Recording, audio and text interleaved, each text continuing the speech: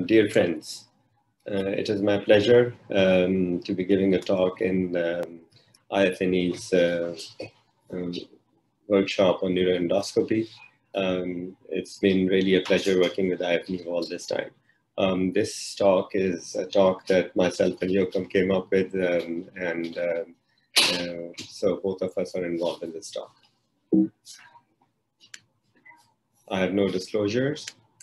Um, gold standard for surgical treatment of lumbar disc herniation has been open microdiscectomy. A minimally invasive endoscopic discectomy, dilating the paraspinal muscles and using tubular retractors using an endoscope is thought that dilating the muscles rather than stripping the muscles decreases surgical morbidity. Full endoscopic interlaminar lumbar discectomy, is it the gold standard yet? That's the question we asked uh, in 2014. I'm still asking the same question yet. Why MIS? It's the basic tenet of surgery is to effectively treat pathology with minimal disturbance of normal anatomy. That is, leaving the smallest footprint. Micro uh, discectomy, first developed in 97, it's a muscle splitting approach with serial tubular dilators and tubular retractor and special endoscope used to perform discectomy. Many people use microscope for a similar procedure. We know that Mixter and Barr first described uh, uh, the discectomy way back in 1934. And METRx tubular dilator system with endoscope came in in 1999, and Smith and Foley introduced the MED system in 97. So this is what we're talking about, that slowly and gradually this has moved into a minimally invasive era. Uh, why MIS? It's reduced post-operative pain, tiny scars, short recovery time, and um, shorter hospital stay endoscopic techniques, improved illumination, better focus on the spot, you're right there, superior circumferential view by application of angled optics, and it's a less invasive approach. How do we know about the impact of uh, muscle retraction? This study way back in 1998 uh, by Kawaguchi, what they did was they divided uh, uh, the rats into three groups in which the retractor was applied for two hours, and continuous and a five minute retraction release after one hour and a five minute retraction release after every uh, 40 minutes of retraction.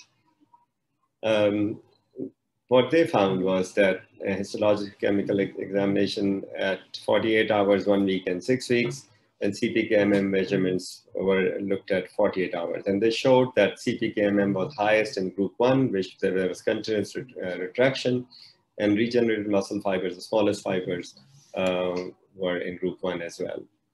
Uh, Taylor looked at this in 20 patients with intramuscular pressure, 5, 30, 60 minutes into surgery, and they took muscle biopsies and found increase in IMP during retraction.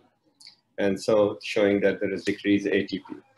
So there's a theoretical advantage, minimal muscle trauma, maybe decreased scarring, mini open, and uh, high magnification. Significant patient demand, superior aesthetic results, less postoperative pain. And you can do this for various kind of approaches as shown here for a straightforward um, discectomy, for stenosis, for a far lateral disc, and a disc out um, of the um, foramen. So decompression of operation, outpatient procedures, interest of patients and surgeons alike. So it's an, it emerged as a minimally invasive alternative to conventional um, microsurgical approach interlaminar endoscopy claims smooth transition from microscopic surgery to microendoscopic surgery, decreasing the learning curve.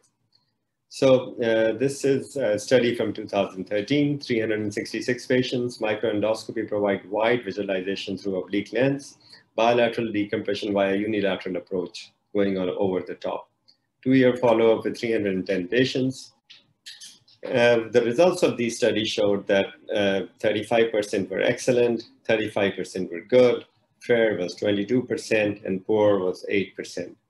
Uh, 20 surgery-related complications identified with uh, dural tear, wrong level operation. All patients recovered with no serious postoperative complication, and they found this to be safe and effective.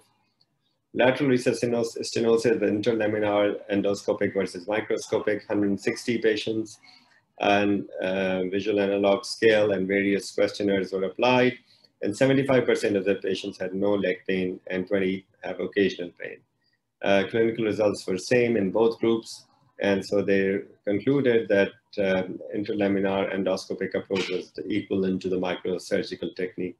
Advantage was of the reduced trauma. Uh, another study uh, by Ruetten uh, showed that this was actually a prospective randomized controlled trial with 178 patients, that 82% of the patients no longer had leg pain and 40, 14% had occasional pain. The recurrence rate was 6%.